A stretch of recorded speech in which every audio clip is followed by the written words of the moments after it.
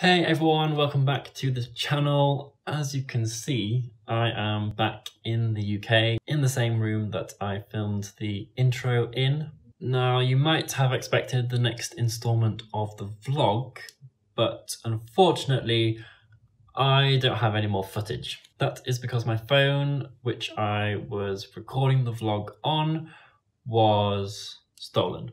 This happened in Xi'an the evening after I'd just been to see the Terracotta Warriors. And to try and make a long story short, I was in a restaurant in this sort of the cubicle seating where the table is between some sofas and a few chairs. Uh, and I was sat on the sofa. The sofa back wasn't particularly high, probably when I was sat down just just below shoulder level. I was charging my phone using a portable charger that I'd also brought with me, and I couldn't fit both of those back in my pocket, so I placed them both next to me on the seating between me and my bag, and then my bag was sort of at the end of the cubicle seating area, pretty much next to a wall in effect. So I was then concentrating on my food, which I remember being very hot, and I was just sort of focused on trying to not burn my tongue. But then once I'd finished eating, I noticed that my phone and charger had both disappeared. After searching to see if they had perhaps fallen on the floor, I saw that there was a security camera pointing pretty much directly at where I had been sitting and I managed to communicate with a staff member and ask them to take a look at it. They came back with footage which showed a man walking into the restaurant. He came behind my seating, reached over the back of the cubicle and picked up both my phone and the charger without me noticing and then just left the restaurant. At this point, the staff managed to find uh, someone else who was in there who could also speak English, and she let me borrow her phone so I could lock my one remotely that had been stolen. The police were then called, and luckily, one of them had studied English.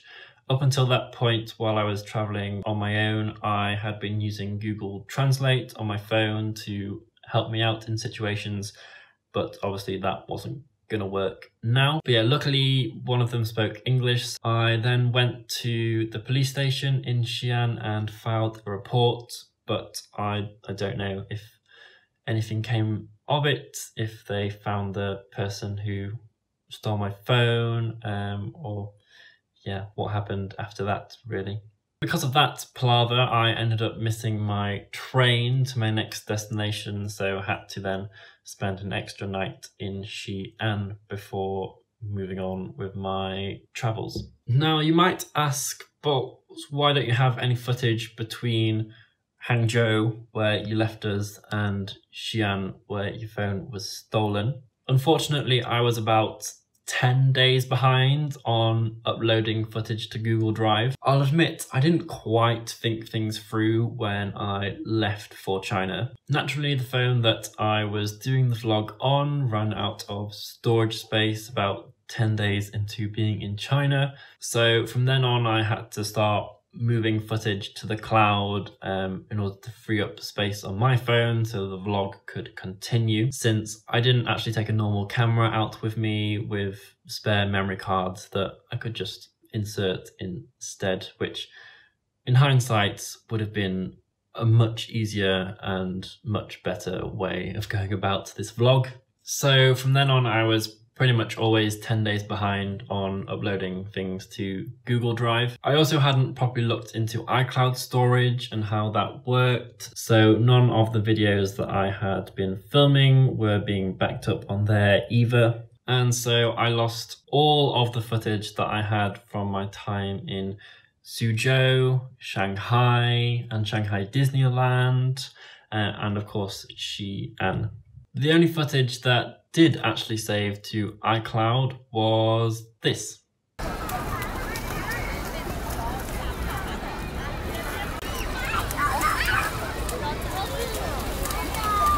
Which I took after a fountain show that they have in Xi'an. I do luckily have photos that I uploaded to Instagram before my phone was stolen just to prove that I was actually there in Shanghai and Shanghai Disneyland. My mum also had the great idea of taking a backup phone just in case of emergencies, which obviously proved very useful. It couldn't actually record video, but it did have a camera. I managed to get a few decent shots of the rest of my time in China, and I have photographic evidence that I also went to Beijing and the Great Wall of China. But I guess I now have a story that I can share, which will hopefully make you guys a bit more vigilant when you're traveling by yourself or a bit more prepared on the technical side of things if you ever decide to do your own vlog of this kind. As a quick roundup of everything that I unfortunately haven't been able to show, Hangzhou and Suzhou were beautiful. I mentioned in the intro that I also lost the little tripod that I took um, to use with my phone. We hired bikes to get around Hangzhou during our days there just to speed things up a bit. Unfortunately, in the flurry of spending too much time there, missing our train, having to buy more tickets to Suzhou, I think I ended up leaving the little tripod in the basket of my bike. I guess that was a freebie to whoever came and used the bike next. And then Shanghai was a great place to visit and experience. Although the weather meant that I couldn't actually get up to the top of Shanghai Tower since it was so cloudy. Um, I wouldn't have actually seen anything if I'd taken the lift up there. So I went up one of the smaller ones, still couldn't really see that much, unfortunately. After Shanghai, this is where I parted ways with Rian, and I've obviously lost the footage where I said this, but a massive thank you to her for putting up with all of my vlogging. I hope it wasn't too annoying, but it was great to travel around with you. From then, I continued on by myself, and of course, I absolutely adored my day at Disneyland Shanghai. It's obviously not necessarily the traditional Chinese culture that I had gone out to the country to experience, but I think every trip is made a bit better with a sprinkling of Disney magic. I then made my way to Xi'an and the terracotta warriors that are out there are definitely worth a visit. They were really impressive. Admittedly, then the phone theft incident happened and it did put a bit of a downer on the rest of my time in China as I was already pretty tired and wiped out by that point. I had my little cry and moment of despair in the hostel that I was staying at that evening.